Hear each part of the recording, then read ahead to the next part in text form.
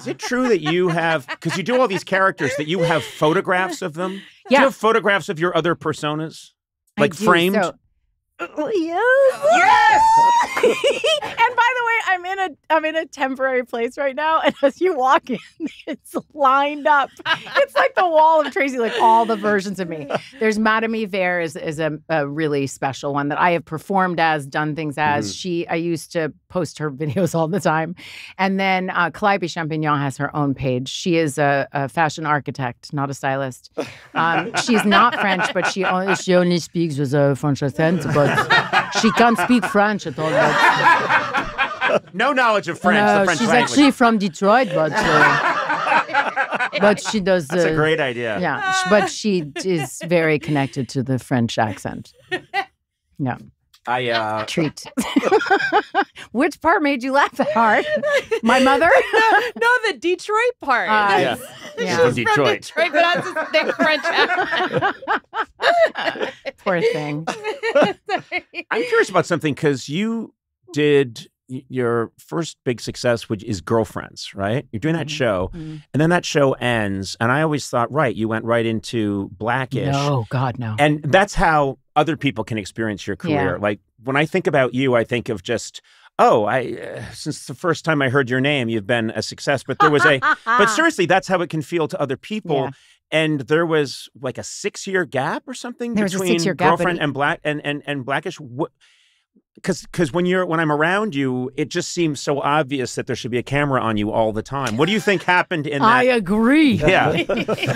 um, um, I don't know. Well, I think some of it, you know, is the segregation of Hollywood, and Right. uh, UPN then turned into CW, and we were on what is considered a black show. So there were so many people who knew our show, and we were a huge success. But there were also the majority of the industry did not. Got it. And so I really did think after being on a show that I considered a hit, uh, that was so beloved for eight years as the lead, that uh, the pearly gates of Hollywood were going to open when it finished. Mhm. They did not. They were Yeah. locked. There were no scripts. There was nothing. And and um, that's actually when I started moving my characters more to the forefront and uh, doing the other things that I do. And then I did a show on BET called Read Between the Lines. Mhm. Uh, did that for I want to say a year and a half. But even before Girlfriends, so Lyricist Lounge came first, uh, which was a hip hop sketch comedy show. It was fantastic. Um, really fun. Did a lot of characters on there. Uh, but preceding that were years and years of auditioning being dropped from the Gersh agency. The woman, the agent said to me, she said, You just don't pop. Oh. She said, You come with all these things, these bells and whistles. You're pretty, your mom's famous, you have good style, but then you get in the room and nothing happens. So we're going to drop you. I mean, I carried that punch for so long. I was like, I'm a person who doesn't pop. But I'm you- a non-popping person. like, I, uh, I- like you need to pop as an actor. You gotta pop.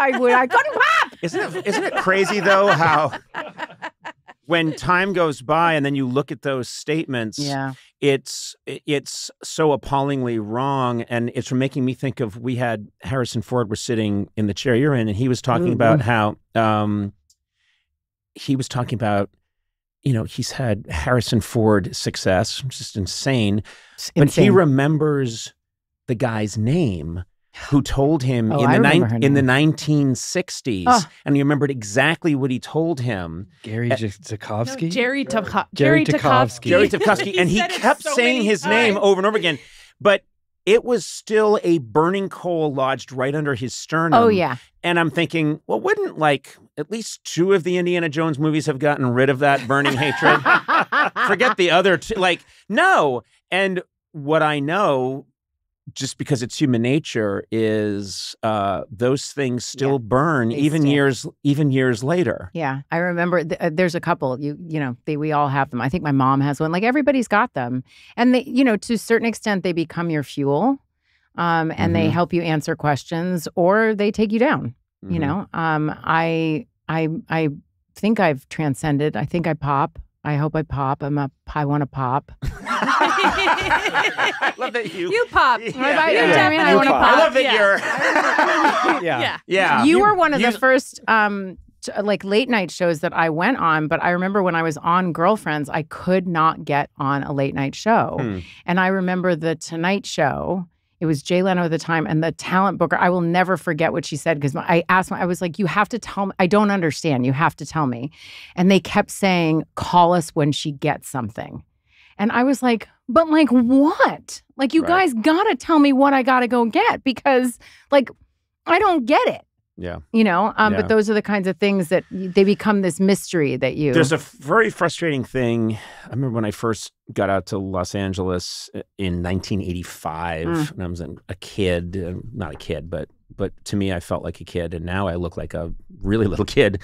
Uh, but uh, I got out here, and I remember there was this catch 22 of well, you can't get a job. I wanted to break in as a writer.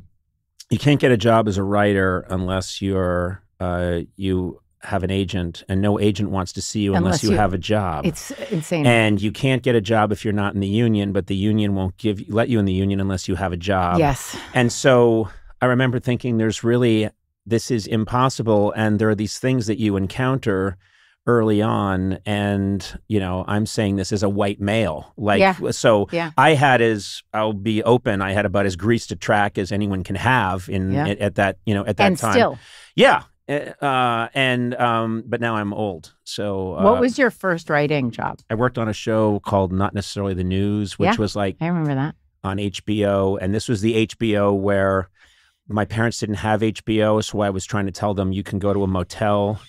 Uh, there's, a, there's a motel on Commonwealth Avenue, and if you check in um, as Mr. and Mrs. Smith, you can you can maybe watch one of my sketches. But I didn't even know we were so separated from the show. We would just write our sketches, submit them, and then maybe they'd show up on the show, or maybe they wouldn't. We How weren't neat. even present for the the uh, the you know casting of the sketch or how it was made Wow. but it was great. It was a great first job. It got me in, but uh, I remembered thinking this is tricky, and I didn't have a, a fraction of the difficulties that you're talking about. Yeah, it's where real- you're saying I've been on a show, but Mm. it's considered a black show, Mhm. and the rest of the industry doesn't seem to recognize Yeah, that. it, it's it was uh, the realization of some of those things were fascinating. I remember on Blackish, I went to do my first looping session, my first ADR session, and the sound guy they had said, you know, he's a very famous sound guy. He's just done all the shows. He's big at all the studios and da da da. And he was like, I just, I mean, you're. It's like you're like a seasoned vet. I just loved seeing such a newcomer be so look like you're so experienced. I said, what do you mean? And he said, Well, I mean, you've never been on a show. And I said, "Oh, No, no, no, I, I was on a show. Well, I mean, it wasn't, it wasn't a comedy. And I was like, no, no, it was a comedy, but it wasn't prime time. Said, no, no, no, it was prime time. He went through the whole list. Right. He's like, but you weren't the lead. I was like, no, but I, but I, Jesus, he's wrong about I, every I was like, single my thing. God, this is, is this Yeah. a comedy routine? Are you a plant? But you're not a woman. yes, I am a woman. Your name's not Tracee, but it is. And he said, "My God, I've got to go look up this show." I was like, "Yeah, you should just go look it Yeah, up." maybe oh my you should God. shut up. I was like, "My God." um, yeah, it, it's a fascinating. The industry is, you know, it it is, but it is also interesting to think of how it's changed. I mean, you Mhm. know. Um, growing up and having three networks or whatever it was, and then all of a sudden you get a new one. There was UPN, and you know what I mean. And now it's just, I mean, I don't even know where to go to find things. I have to Google the name of the show that someone told me. So, and where do you stream it? I write. And then sometimes it still doesn't give me good Right. answers. It gives me all these things. And I'm like, I don't know what to do here. I will often figure out where it is the thing I want to see, and then I will go to that streamer that I know that we are signed up for. yes. But it will say, no, I'm not letting you in unless It- you unless you give me the 75 different passcodes. And my wife knows those and I don't. And often I crumple to my knees and a camera lifts up to the ceiling and I go, no! Like God himself has betrayed me. And it's just like, no, Oh my I'm God. I mean, fairly Just text your wife. Exa- no, she I have doesn't no allow that. blame. She doesn't allow that anymore. I just take I take the remote and I'm like, "Ugh." Yeah. I just get so angry. I'm like, I, I just want to watch the show. Like, but you Yes. can't get in. yeah. And Or I, then I know they already you- have my money. They already have my Yes, money. or I it signed up. says it says you don't have that version of. I'm like, what do you mean? I ha- I swear to God, I paid the version. I don't. I did it last time. I can't. Where's the show?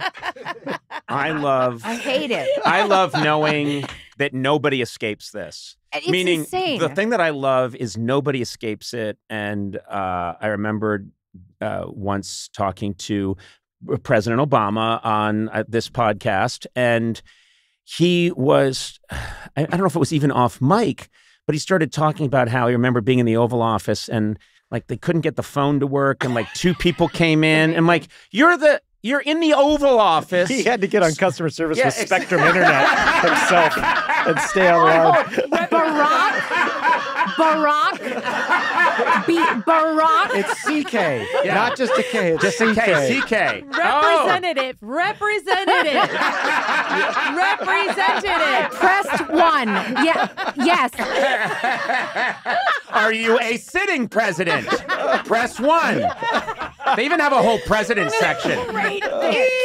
That's a great bit. Are you a two-term or one-term oh president? Jesus. And then you try and have someone else do it. I'm so sorry. We'll have to speak to the actual person who pays the bill. No, it's so funny Yes. because it made me happy. And then when we, uh, when I talked to Biden recently, and he invited me into the Oval Office, all I could do was stare at the phone. you- And it, guess what?